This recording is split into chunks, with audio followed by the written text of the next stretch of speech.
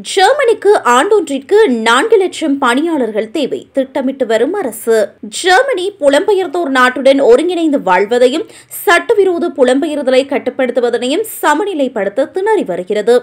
நாட்டில் ஒரு பக்கம் திறன்மிகு பணியாளர்கள் பற்றாக்குறை மறுபக்கம் எக்கச்சக்கமான புலம்பெயர்ந்தோர். ஏற்கனவே முன்னாள் சான்சலர் ஏஞ்சலா மேர்க்கல் காலகட்டத்தில் ஜெர்மனிக்கு வந்த புலம்பெயர்ந்தோர் போக இரண்டாயிரத்தி இருபத்தி இரண்டில் ஒன்று திசம் இரண்டு ஐந்து மில்லியன் பேர் புதிதாக ஜெர்மனிக்கு புலம்பெயர்ந்தனர்.